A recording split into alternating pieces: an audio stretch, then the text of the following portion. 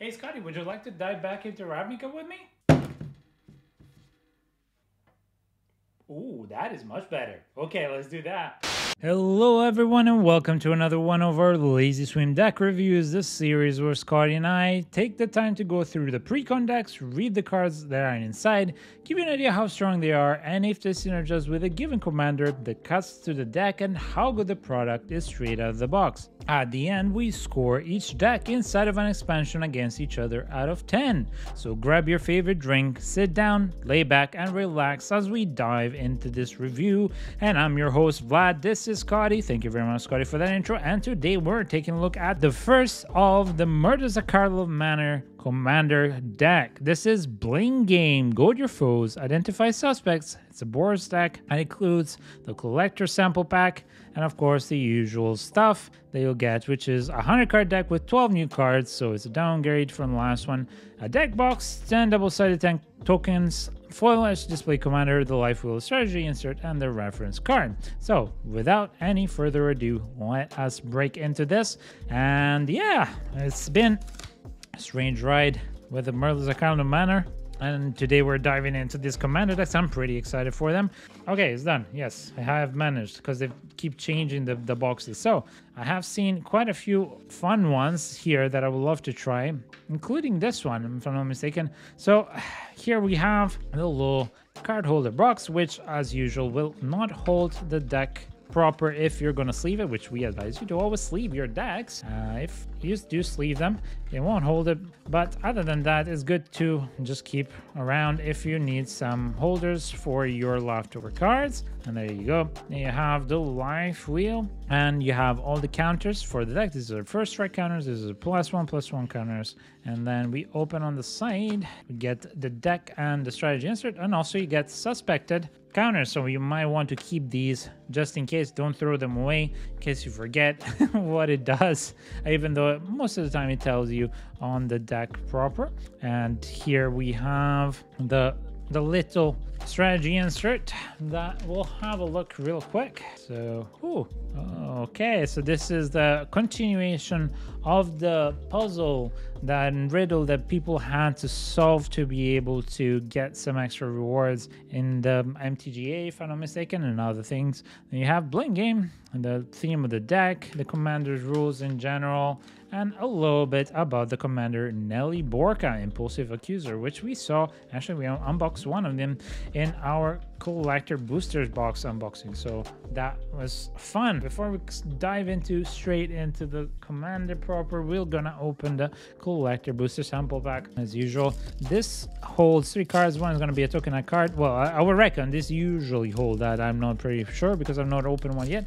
But three cards. One is a a token and then you get two cards. One is going to be a rare or mythic and one is going to be uncommon. So a yielding gatekeeper we've seen before and then a ma magnetic snuffler and the dossier foil version. That's very cute and then we'll put it here and then we'll look at the commander nelly borca impulsive accuser so uh, even though we saw it before, we're going to reread it because this is the commander deck. So it's a 2-4 human detective that costs 4 with Boros in the call. It's a legendary creature, of course. It has vigilance and when it attacks suspect target creature, then go to all suspected creatures. Whenever one or more creatures an opponent controls deal combat damage to one or more of your opponents, you and the controller of those creatures each draw a card. So it is one or more creatures deal combat damage, which means you can only draw a card, but you're goading a lot of creatures. Of course, when it attacks, it means that you have to keep it alive. 2-4 at the beginning is easy to keep alive, but if the other commanders have um, big creatures, you'll want to be able to, well, cloak it in some way or another, defend and protect it. So therefore, what is the commander trying to do? Well, the commander is goading everything every time. So it wants to attack, it wants to goad, and from the goad, it wants to draw.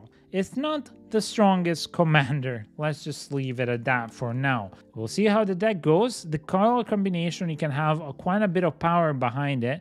And uh, depending on how they build it, and seeing that it is the blame game, it is goad your creature and suspects. So I think perhaps, you know, the suspects are not going to attack you. So maybe it's going to be a really interesting game where none of the board can attack you and you can just go on and attack everybody else. It'd be interesting if that was the case. Anyway, as usual, in case you don't know and you're new here, first off, welcome. Hi. And uh, secondly, we take a look at the Commander Proper. And the Commander Proper is the card that we will be reviewing the rest of the deck around of. Not the General, which we'll have a look at in just a second, but the Commander Proper. And then we'll see if the cards synergize with the Commander. So that's the Commander. And then, ooh, Feather. That is nice. We also saw Feather in our collector's unboxing as well. Feather Radiant Arbiter is a 4-3 angel that costs 3, has flying and lifelink whenever you cast a non-creature spell that targets only Feather. You may choose any number of other creatures that spell could target and pay 2 for each of those creatures. If you do, for each of those creatures, copy that spell. That copy targets that creatures. So this is very much a kind of like a prowess slash, you know, power up my creatures as much as possible strategy. Now, of course, this could be synergistic because in the end, whatever you put on this, you can put on Nelly and you can put it on anywhere else.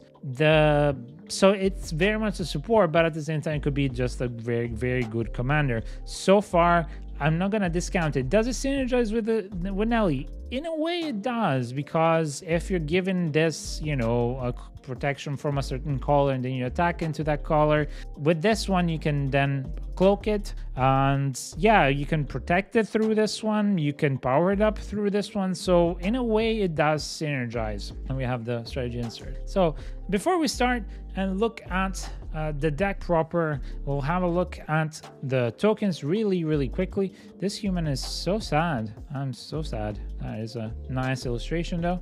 We have some gold. And then on the flip side, we have the monarch. So there's going to be a card. Kobozo Deep. So there's going to be that one.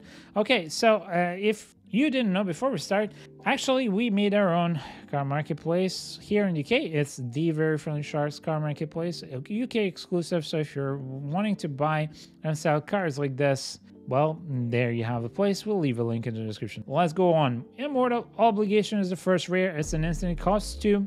Return target creature card from an opponent's graveyard to the battlefield under their control with a duty counter on it for as long as the creature has a duty counter on it, it is good and can't attack you or permanent you control, can't block creatures you control. Again, yes, very very synergistic. It's a it's a nice one because if something huge dies, you can just keep it good and so long as they can't destroy the you know the enchantment, then well or counter, sorry, because it's not enchantment, it's the counter, then yeah, you're Gucci, as they say. So very, very nice, and it is synergistic. Then we get Otherworldly. It's a 4-3 human detective. Has flash, cost 4. When it dies, if it's not a spear, return to battlefield under owner's control with 4 charge counters on it. It's a spear detective. For 2, tap, remove a charge counter to destroy target creature that will damage to you this turn. That is a deterrent. It's not synergistic though, but it is a deterrent. So next up we have Redemption Arc, cost 3. It's an enchantment aura. Enchantment creature gets indestructible and goaded, and then you for two exile enchanted creatures. So that's good. Goats, it is definitely synergistic. It's an enchantment, and um, yeah, it's not a bad card. Should they, for whatever reason, try remove Redemption Arc, you can just exile that creature, which doesn't destroy which is even better. So that's pretty, pretty cool. So if you want to keep the theme of the deck, so far you only remove Otherworldly Escort. Then we have Trouble in Pairs, which, in case you didn't know, a little bit of drama happened about this because the uh, artist Faye Dalton clearly used reused assets from previous illustrations from other artists. I, we, you know, it's not known if it was through AI or whatever the, the reason, but um, because in case you didn't know, AI usually, not all of them, but most of the image AIs uh, were initially trained with copyrighted materials. So despite the fact that they'll say that they won't push out copyrighted materials, they will train on copyrighted materials. So if it they use that, they didn't know, for example, either way, it's a bad move. Anyway, let's look at the card. Trouble in Pairs an enchantment, cost 4. If an opponent will begin an extra turn, that player skips that turn instead. Whenever an opponent attacks you with two or more creatures, draws their second card each turn, or casts their second spell each turn, you draw a card. So whenever they do extra stuff each turn, you draw a card. Cute. Um, I guess there might be some interaction with one of the decks that's currently in the pool, but it's not synergistic with the commander. So keep that in mind. Havoc Eater is a 3 3 elemental. We've seen this as well. It costs 7, has flying when it enters battlefield for each opponent. Go up to one target creature that opponent controls, and then put up plus X plus 1 plus 1 counters on this creature, where X is the total power of those creatures go to this way, which can be insane.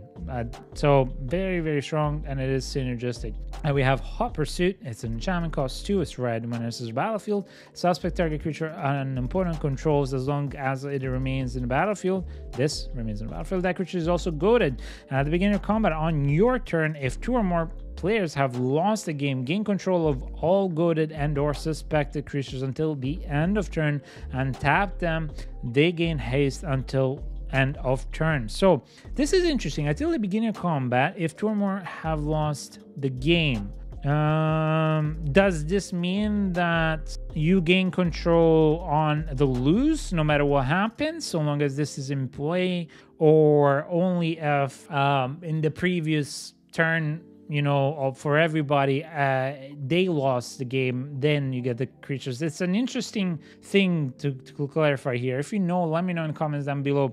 Either way, yeah, it's suspect and goaded, and it's pretty interesting. If it works the way that I think, which means that so long as two players have died, you know, lost the game, then you get their creatures, that's insane. If that's that way, either way. Then we get Mob Verdict, which is a sorcery. It costs four and it has secret council. Each player secretly votes for another player.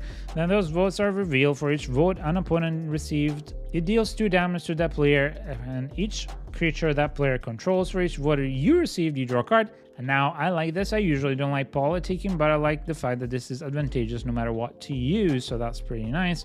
And um, yeah, they're more likely to shoot each other off than give you cards, but that's their dilemma. Haha, see? Prisoner's dilemma. Haha. This is a, a, an experiment in psychology and thought processing. So uh, it costs five. It's a sorcery. It's red. Uh, each opponent secretly chooses silence or snitch, then it, their choices are revealed. If each opponent chooses silence, each opponent must choose silence. It, deals 4 damage to each of them. If each opponent chose snitch, then it deals 8 damage to them. Otherwise, it deals 12 damage to each opponent who chose silence. Ah! now this is tricky. I like this. Now, it's a tricky one. Again, politicking and all that set aside, it's not these two cards are not very synergistic with the, the main part of your deck. And if you want to be more aggressive, you can remove them, but they're fun.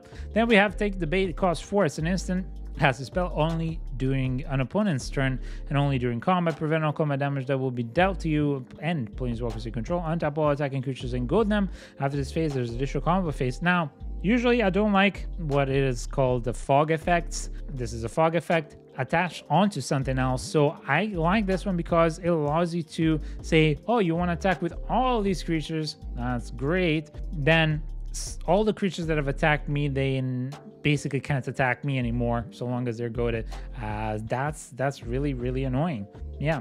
Next up, and of course that one does synergize. Next up we have Ransom Note, which we saw before. It's a clue that does quite a few things. It allows you to go target creatures, so it's synergistic, and it's nice to you get to do more than one thing, so that's nice.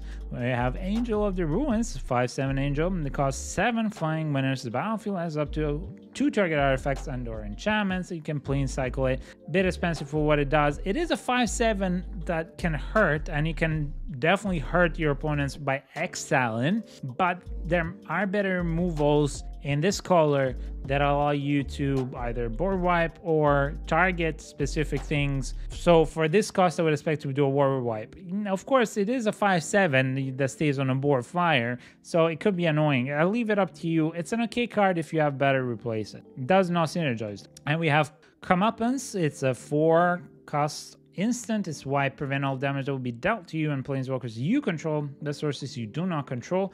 If damage for a creature source is prevented this way, Comeuppance deals that much damage to that creature if damage from a non-creature source if prevent this way. Comeuppance deals that much damage to the controller. That is very annoying. Uh, again, another way to protect yourself. And I think this is more of a deterrent, even more so because anything that cannot be goaded by you, you use this on. So that's very, very nice. It's it's interesting. It, it does prevent a lot of damage and returns it. Usually prevent damage for this much, not great, but this returns it into their faces faces, so or into the creatures' faces. So that's that could be really, really good. For one turn though, we have Darien, King of Kjeldor. Is a 3-3 human soldier costs 6. Whenever you dealt damage, you may create that many 1-1 white soldier creature tokens. Too expensive for it's trying to do. And also its creature tokens is I Boros can really create a great decks for tokens, but I hope we're not trying to go too much that way. Duelist Heritage is an enchantment, costs 3 whenever one or more creatures attack. You may have target attacking creature gain double struck until the end of turn and be quite quite annoying for sure. Oh, Elspeth Sun Champion makes a return. It's a 4 loyalty planeswalker that costs 6. You plus one to create three 1 1 white soldiers, minus 3 to destroy all creatures power 4 greater. So basically a lot of the things as well here because half of them have so one two three are going to die. Um careful with that but it's one way that they give you another way to you know board wipe. At minus seven creatures you control get plus two plus two and half flying. That's an emblem. Um, i mean it's a Planeswalker. It's white. There are better ones, but you know, if you want to keep it, why not? It can still help you depending on how the rest of the deck is built. Next up, we have Keeper of the Accord. Is a 3-4 human soldier that costs 4 at the beginning of each opponent and step. If the player controls more creatures than you, you create a 1-1 white soldier creature token. And at the beginning of each opponent's end step, if that player controls more lands than you, you miss your library for a basic land card, put it in the battlefield, tap, then shuffle. The second part is quite strong. First part is nice, but again, we're going off the path of we're not really synergizing with our commander. Mm. Oh, Loran of the third path. That's nice. There's a 2-1 human artificer that costs 3. It's white vigilance. And when it enters the battlefield, destroy up to one target artifact or enchantment. Tap and you and target opponent each draw a card. So very annoying. Um, yeah, well, I like this one because it's a smaller creature. It can definitely be buffed and you can do many more things. And yeah, it allows you to destroy a specific artifact or enchantment. It's definitely better than uh, than the other one. So I would keep this one in. Is it synergistic with a commander though? Not really. I mean, it's not goading or doing anything of that, that sort. Promise of Loyalty costs five. It's a sorcery. Each player puts a vow counter on a creature they control and sacrifices the rest. Each of those creatures can't attack you or planeswalker you control for as long as it is has a vow counter on it. Very, very good. And again, this is synergistic, so I like to keep that. Oh, Selfless Squire. As a 1-1 human soldier, costs 4, has flash when it's the battlefield. Permanent damage will be dealt to you this turn whenever damage that will be dealt to you is prevented. Put that many plus 1 plus 1 counters on the Squire. So again, this I would qualify as yes, it synergizes with the deck alongside some type of fog effects because if you're having those creatures that you can't go attack you, at least you transform it. It's kind of like Tai Chi, you know, use your enemy strength against them. So that I actually think it does synergize somewhat. Then we have Sevinne's Reclamation. Sorcery costs 3, return target card for mana value 3 or less from graveyard to the battlefield. If this spell was cast from graveyard, you may copy the spell and you may choose a new target for the copy always good to have if the deck allows for it and i think this deck will allow for it so it's not a bad card.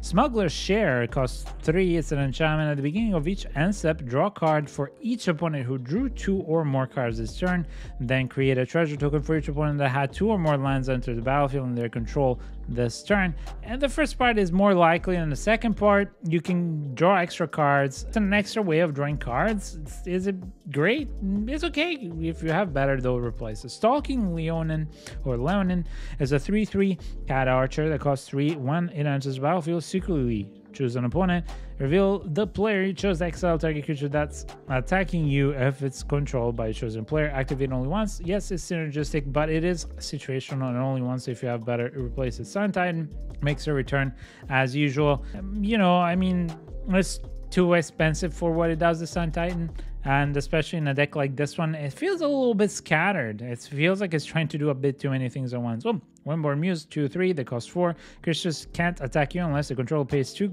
generic for each creature they control that's attacking you. Now, see, this is the way that I would have taken the game more towards if I can't goad it, you can't attack me unless you I tax you. So unless you pay the mana, or you can't attack me at all, or a pariah, or something like that. So this is the way that I would have created the deck myself. So yeah, uh, this definitely goes into the pile of synergistic. Winds of Rath, These are all creatures that aren't enchanted, they can't be regenerated. You have maybe one or two enchantments so far that are really to your creatures. And this creeps the um, does not keep the goaded creatures because the goaded creatures only have a goaded counter. They're not really enchanted by it. So you know, do that as you may. It's a board wipe. That's that's all that's all I can say. I'd rather use a better board wipe though for that cost, and maybe even spend a bit more, one more, and then have something that board wipes more than just creatures. Agitator Ant is a 2-2 insect that costs three, and it's right at the beginning of your round step. Each player may put two plus one plus one counters on the creatures they control. Goad each creature that had counters put on them this way. Oh, I like this. Now, this is really nasty because, yes, sure, you can power up your creatures, but you're going to kill each other, not me. Very nice. Brash Taunter is a 1 1 goblin that costs 5. Hmm, that's a bit expensive. Indestructible. Whenever it's dealt damage, it deals damage damage to target opponent. And then if you can fight another creature, uh, no, that's not synergistic and really not really worth it. It's too expensive. Disrupt Decorum. Cost 4, got all creatures you don't control. Very, very nice. I like that. Then we have Etali Primal Storm. Wow, okay, that's a far left field play here. It's a 6-6 Elder Dinosaur. Cost 6. When it attacks, exile the top card of each player's library. Then you may cast any number of spells from one of those cards without paying their mana cost. Um, I mean, it maybe the one off would be nasty. Why not? But I don't see the synergy of it here. I understand the principle that you're using your opponent's cards against them, but I don't see the, the synergy here. So I'll put it as a no. Then we have Fiendish Duo. First strike, if a source would deal damage to an opponent, it deals double that much damage. In this deck, yes, it's worth it. Absolutely. So I would say that it is synergistic and I will keep it. Frontier Warmonger is a 4-4 that costs 4. Whenever one or more creatures attack one of your opponents or a planeswalker they control, those creatures gain menace until the end of turn. Very good, very synergistic. I love that part. And then Kazuul, Giant of the Cliffs, is the legendary Ogre Warrior. That's a 5-4 that costs 5. Whenever a creature an opponent controls attacks, if you're the defending player, create a 3-3 Red Ogre creature token unless the creature's controller pays 3. This is a deterrent and also it just gives you creatures to block if the deterrent is non-effective. In this deck, it is synergistic. Now, is it the best one? Hmm, not really, but still, it's a small deterrent and it could be there. And 5-5 or 5-4 that gives you some ups upside whenever they attack for each creature. Yeah, that's not bad. Then we get Spectacular Showdown. It's a sorcery, cost 2, it's red. Put a double strike counter on target creature, then go at each creature that had a double strike counter put on it this way. So, uh, so I, I'm, I'm seeing now with this, I've just realized that this is, you may choose any number of other creatures that spell could target and pay two for those creatures. So this definitely can make the gold pass onto other creatures. I thought of it only as your own creatures, but fair enough. I see the synergy even more because you do this, put a double strike counter, put it on all the creatures you pay as much as you want. You can overload it, of course, as well. But you, if you don't have the cost to overload it, um, yeah, very good. And also, I just realized that. So there goes me. Um, then we have Vengeful. Uh, to be fair, we haven't had a like target specifically. It's more choose um, certain amounts of creatures um up until now. But yeah yeah makes sense. Then we have a vengeful ancestors a 3-4 spirit dragon cost 4 flying.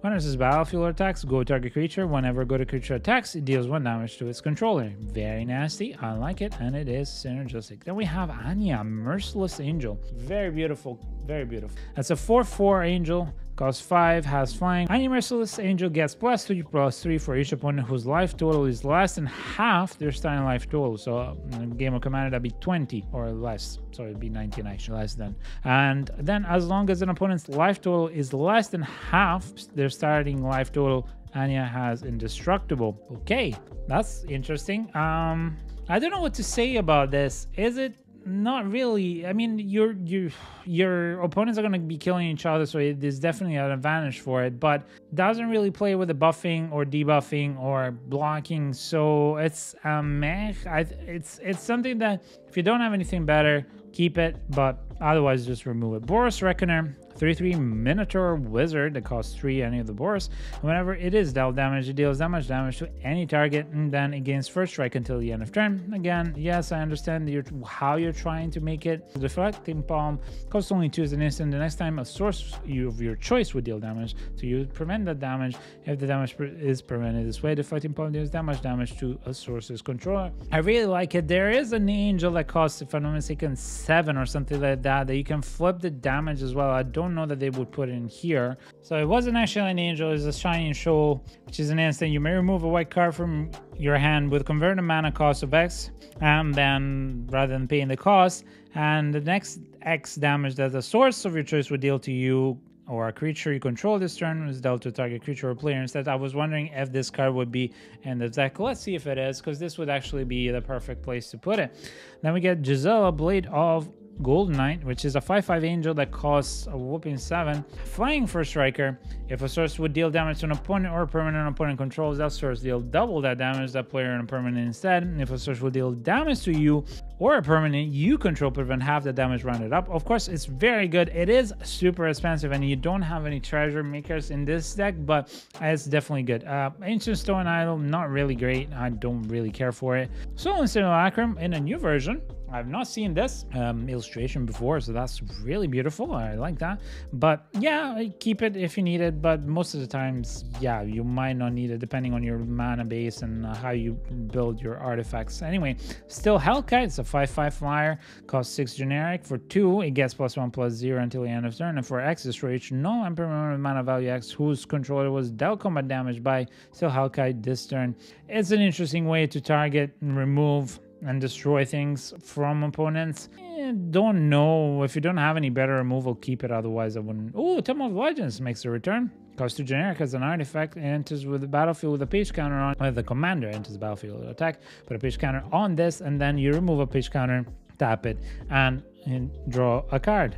It's a great way to to draw. It's interesting that they would put it in this deck for some reason, but hey, oh, Castle Ardenvale makes a return. Very good card for overall humans deck i don't know that you want it in this deck because again it's more synergistic with humans deck or with tokens deck. So why is it here? We do not know. There are some token interaction i think one or two maybe three with Elspeth but other than that for a calm Kirkalp which makes the the goblin Labyrinth of Skophos okay. This uh, removes the target attacking or blocking creature combat. It's the same as the Maze of Ith so you would play both in this kind of deck to solidify solidify the idea that they can't attack you. Needle Spires. Okay, so this becomes a 2-1 elemental creature that will strike until the end of turn and still alive. That's nice to see it. Uh, Scavenger Grounds. Okay, uh, Slayer Stronghold. Uh, yeah, you can buff target creature, and again, you can buff your opponent's creatures with it. Uh, it's not bad. Temples, of course. Throne of the High City, which makes you become a monarch. I don't care much for the monarch ability, so nah. War Room, always nice. Um, basically you're you're you're paying two two life every time to draw a card plus three mana. If you don't have any better ways of drawing you can ghostly prison costs three it's white enchantment and creatures can't attack you unless they control pays two. Generic for each creature they control that's attacking you. Very very good and that's exactly what i wanted to see. Gideon sacrifice instant instant costs one. It's white choose a creature or a planeswalker you control all damage that will be dealt this turn to you or permanents you control is dealt to that creature to the chosen permanent instead that's very nice. You can pariah this way. So again, the effects that I was talking about. Martial Impetus and Shaman Aura costs 3. We saw this before. Enchanted creature gets plus 1 plus 1 is goaded. Whenever an enchanted creature attacks, each other creature that's attacking one of your opponent gets plus 1 plus 1 until the end of turn. Very, very nice. I like this because this is instigating that idea of the decks. Then we have Ors of Advocates is a 1-4 human advisor, cost 3, and it's white. At the beginning of your upkeep, each player may put 2 plus 1 plus 1 counters on a creature they control if the player does not. Creatures that player controls can't attack you or planeswalkers you control until the end of turn. So, so long as they keep putting the, the stuff and buffing their creatures, they can't attack you. If they choose not to, they can attack you. It's synergistic with the commander, and it's a cute one of doing this. Oh, wow, I haven't seen the seals in forever. What was the first time I, the, I saw the seals? Was it Prophecy? I don't even remember the seals. So let me know in the comments down below. Okay, it's an enchantment. Costs you sack it to destroy target artifact or enchantment. I mean, there are better effects nowadays, but okay. Soul Snare, and Enchantment, cost one. It's nice to see it back, I will say that. Soul Snare, and Enchantment, cost one. And for one, sack it to exile target creature that's attacking you or a planeswalker you control. So again, another way of, hey, you're gonna attack me, careful, I'm gonna do something to it. It's not bad. Um, there are better single target removals in white than this, but if you pair this with other stuff, then this you can keep. Vow of Duty costs 3, it's an enchantment aura. Enchanted creature gets plus 2 plus 2, has vigilance, and can't attack you or planeswalkers you control. Very, very, very nice and very synergistic. Wall of Omens, Defender, when it enters the battlefield, you draw a card. It's a 0 4 Defender. And there was a combo that with, if I'm not mistaken, I, this was a very old combo. I'm talking here maybe around the times of Mirrodin or maybe before Mirrodin came out, the first official set, where you could put Pariah on a wall. And I don't remember if it was a wall of Omen. It was a wall where you could prevent all damage and or you would put the Mother of Runes and then the damage would go to her and then you could give protection from the color that the damage was being dealt with and then the damage would dissipate. Uh, and again, it worked with I had a deck. It wasn't an NVEC or Encore Encore deck like that. It was ages ago. anyway, uh, yeah, Defender, man, not really useful. Curse of Opulence. It, I mean, defenders are useful in the idea that you can create bodies. So, Curse of Opulence, it costs one red. It's an aura curse. Enchants a player that whenever the enchanted player is attacked, create a gold token. Each opponent attacking the player does the same. And whenever a gold token is created. It's an artifact that you can sacrifice that mana of any color. It's a treasure token basically. And this again deters people from attacking you and allows them to attack someone else. Rite of the Raging Storm, it costs 5 as an enchantment and then you get creatures named Rager can't attack you or a planeswalker you control. And at the beginning of each player's upkeep, that player creates a 5-1 red elemental creature token named Lightning Rager, and it has trample, haste, and at the beginning of every step, sacrifice this creature. Yeah, okay, so it's um, bolt lightning basically that you give to everybody else, and uh, it just can't attack you. Very, very good. I like it. So long as this one stays in play, this is gonna be a nasty, nasty one. Shiny Impetus, Enchantment Aura that costs three and it's red, and it's an enchanted creature gets plus two plus two and is goaded. Whenever enchanted creature attacks, you create a treasure token. Very nice, and I like this. Keep it in the deck. Vow Lightning, enchanted creature.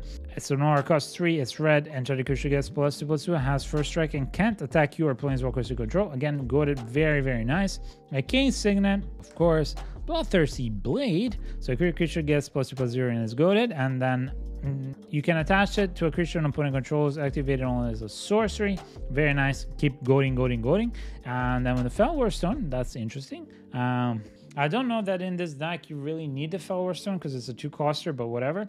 Then we have the Mind Stone, allows you to draw a Sol Ring, Talismans, Talisman of Conviction, I like that.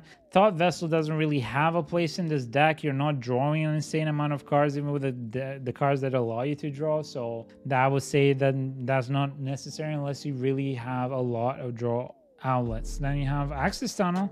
Target creature with power 3 or less can't be blocked this turn. And this is great for a Borca, for example. So that's really, really nice. And any effects like that, I would keep and put into the deck so that you can do more with Nelly. And then, yes, Ash Barrens, the usual. Boros Garrison, man, Command Tower, Escape Tunnel, again, Very nice. It's unfortunate that you have to sack it, but it's still nice to be able to do that. Then we get the Myriad, Relic Criteria. Again, no maximum hand size, but you don't have a lot of draws. So, uh, Rogue's Passage, very good. That's the other one that I want to put in. Sunhome Fortress of the Legion. Target creature gains double strike until the end of turn. Again, you're buffing, not necessarily your creatures. You can buff your opponent's creatures as well. Temple of the False God, meh.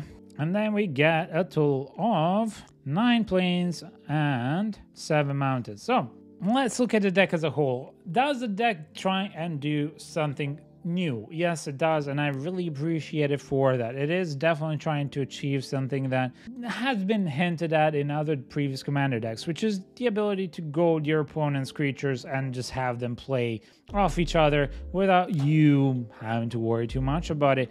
Now, here's the thing I would put a good chunk of cards that, as I said before, in this kind of deck helps me prevent damage to myself whenever I can't gold, helps me divert that damage, helps me protect myself. There are cards like that, and also some good removals for the cards. In effect, you would become sort of like a control in these colors. There's a good synergy with a lot of the cards, especially um, half the creatures from what I can see, and a very good chunk of enchantments, some instants, some sorceries, and uh, some lands. Now, what it does good is the ability to goad and to protect yourself, but only to a certain degree does it do the protection. Okay, so because of that, you'll want to reinforce that side.